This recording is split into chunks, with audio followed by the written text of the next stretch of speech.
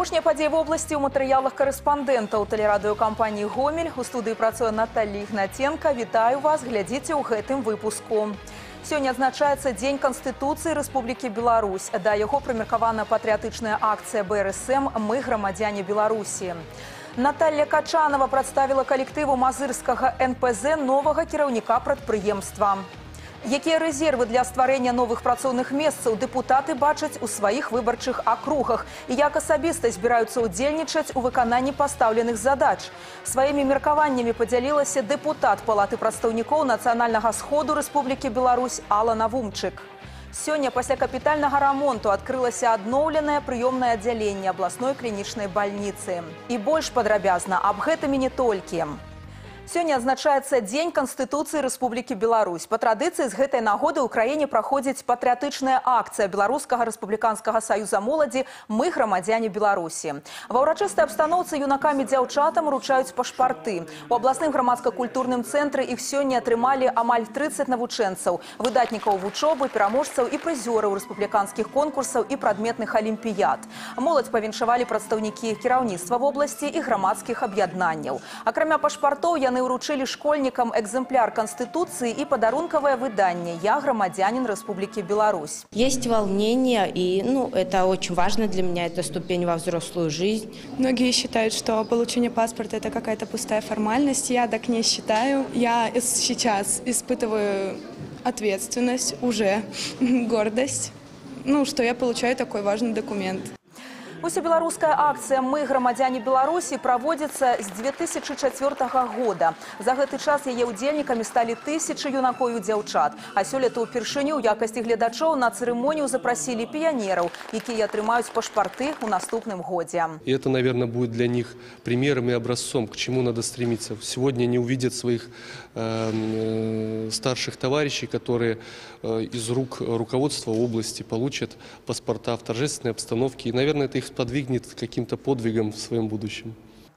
Урачыстыя цырымоніі прайшлі па ўсёй вобласці. Галоўны дакумент грамадзяніна Рэспублікі Беларусь атрымалі больш як 400 юных жыхароў рэгіёна.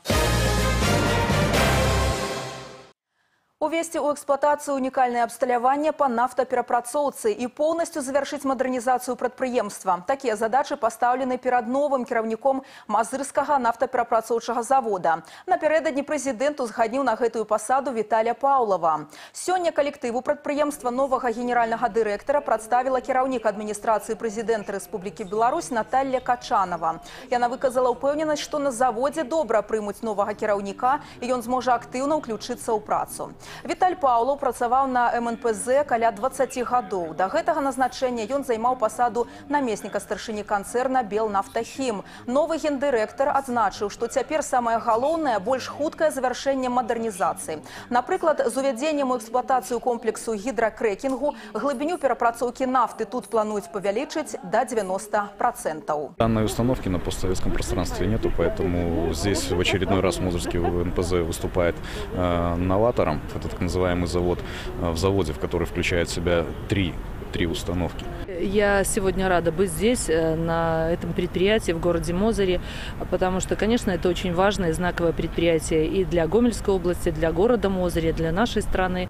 Завершение самого масштабного инвестпроекта на предприемстве запланировано на 2020 год. Кіраўніцтва завода ўпэўнена, што гэта дапаможа значна павысіць эканамічную эфектыўнасць і нарасціць прыбытак.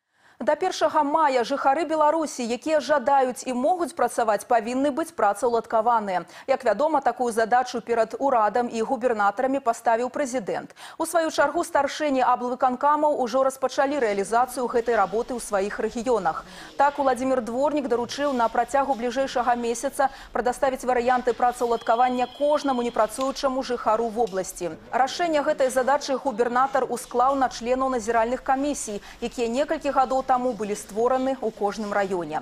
Акрамя таго, да вырашэння пытання працаўладкавання далучацца і дэпутаты. Якія рэзервы для стварэння новых працоўных месцаў яны бачаць у сваіх выбарчых акругах і як асабіста збіраюцца ўдзельнічаць у выкананні пастаўленых задач. На гэтыя і іншыя пытанні нашаму карэспандэнту адказала дэпутат палаты прадстаўнікоў нацыянальнага сходу Рэспублікі Беларусь Алла Навумчык. Здравствуйте, Алла Александровна. Скажите, пожалуйста, каким вы видите решение проблемы трудоустройства в рамках декрета номер три? Здравствуйте, Марина. Э, Декрет номер три очень широко обсуждается сейчас в нашем обществе. И э, сказать, что мы сможем решить в течение там, э, буквально двух-трех недель проблемы трудоустройства всех желающих, конечно, будет неправильно. Потому что э, вопросы регулирования рынка труда э, достаточно сложные и затрагивают конкретного человека с его интересами, с его особенностями, с его желанием. Э, Поэтому э, проблема эта будет решаться, э, решаться совместно усилиями всех вертикалей органов власти. И я думаю, что, несомненно, с учетом интересов конкретного человека. Вот, кстати, какие резервы для создания рабочих мест есть в вашем округе? Я напомню зрителям, что речь идет о Гомельском сельском избирательном округе. Э, Вы знаете, у меня замечательный округ с позиции э, того, что это э, сельскохозяйственные организации, которые имеют очень высокий уровень технологий. Они расположены вокруг крупного областного центра и традиционно создавались как своеобразное зеленое кольцо, которое обеспечивало свежими овощами и плодами жителей крупного населенного пункта. Поэтому здесь сконцентрированы высококвалифицированные кадры, и э, аграрный сектор успешно развивается в Гомельском регионе. Но особенность его состоит в том, что это еще и сезонный характер имеет, несмотря на то, что э, развиваются и производство овощей закрытого грунта, но все равно сезонность выражена. Поэтому э, на сезон э, привлекаются дополнительные, э, нужные дополнительные работники. Это тоже один из резервов привлечения рабочей силы, решения проблем по декрету номер три. На слуху э, проблемы жилищно-коммунального хозяйства. Э, Мы говорим о том, что надо, нас не устраивают тарифы, с одной стороны. И уже много делается по оптимизации тарифов э, в жилищно-коммунальном хозяйстве. Нас не устраивает качество услуг. И вот здесь, мне кажется, развитие государственно-частного партнерства должно сыграть свою позитивную роль. Если мы в эту сферу привлечем частный бизнес, предпринимателей, которые создадут реальную, хорошую, здоровую конкуренцию э, государственным структурам по оказанию услуг, скажем, по уборке наших подъездов или э, внутри э, дворовых территорий, или, скажем, предоставление услуг по сан- сантехническому обслуживанию, то тогда, я думаю, будет возможность выбора у жильцов Очень интересные примеры. Алла Александровна, а как лично вы будете способствовать решению вопроса с трудоустройством безработных? Э, Ну, во-первых, э, я знаю, что э, в Гомельском и Добружском исполкомах сейчас активизируется и актуализируется э, как раз перечень вакансий, поэтому при личных приемах я всегда предлагаю вакансии, которые есть, или выслушиваю конкретные просьбы граждан и пытаюсь оказать им содействие в трудоустройстве. Кроме того, вижу свою задачу в том, чтобы вот помогать молодежи, которая заканчивает учебное заведение и э, пытается трудоустроиться. Развитие бизнес-инкубаторов или каких-то э, таких площадок э, при вузах способствовало бы тому, чтобы молодежь ну, вот, получала навыки такие, своеобразный тренажер, да, навыки ведения своего бизнеса с тем, чтобы они могли получить хотя бы первую свою заработанную заработную плату. Я уже не говорю о прибыли, с тем, чтобы ну, вот этот навык потом они могли реализовать самостоятельно, уже уйдя в самостоятельное плавание. Спасибо большое, Алла Александровна, за то, что нашли время прийти в нашу студию и высказать свое мнение. Спасибо, Марина, за вопросы. Очень приятно. Сёння пасля капітальнага рамонту адкрылася адноўленае прыёмнае аддзяленне абласной клінічнай бальніцы. Цяпер медыцынская дапамога ва ўстанове будзе аказвацца больш аператыўна і якасна. У гэтым пераканаліся і нашы карэспандэнты. Менавіта па рабоце прыёмнага аддзялення можна меркаваць аб арганізацыі працы ва ўсёй установе, кваліфікацыі медперсанала і яго адносінах да пацыентаў. Нават з гэтай кропкі гледжання капітальны рамонт з элементамі рэканструкцыі быў проста неабходным. На працягу года прыёмнае аддзяленне гомельскай абласной клінічнай бальніцы прымае каля 30 тысяч чалавек, якім неабходная экстранная дапамога. У сувязі з адсутнасцю абсталявання для правядзення неабходнай дыягностыкі хворых вазілі літаральна па ўсіх паверхах установы, што было не толькі нязручна, немощна, але і замароджвала пастаноўку дыягназу. Цяпер усе неабходныя абследаванні можна праводзіць непасрэдна ў аддзяленні. И врачам с приемного покоя удобнее здесь назначать. Когда врач сам УЗИ здесь находится, можно и сказать, что конкретно он хочет это исследование. Ну и пациентам, естественно, тоже. Не надо их на носилке, допустим, если какие-то тра- травмированные пациенты. Не надо их поднимать на третий этаж. Удобнее. Все на месте, когда.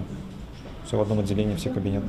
Падчас рамонту працоўныя месцы медперсаналу абсталявалі персанальнымі камп'ютарамі, якія падключылі да адзінай бальнічнай сеткі. У перспектыве доступ у базу дадзеных іншых медыцынскіх устаноў. Стварылі і сістэму відэаназірання для кантролю якасці абслугоўвання. Кошт рамонту каля 550 тысяч рублёў, але гэтую лічбу нельга лічыць канчатковай. Да 1 верасня ў прыёмным аддзяленні Гомельскай абласной клінічнай бальніцы плануецца завяршыць другі этап рэканструкцыі. Добавился кабинет электрокардиографических исследований и кабинет э, ультразвуковой диагностики.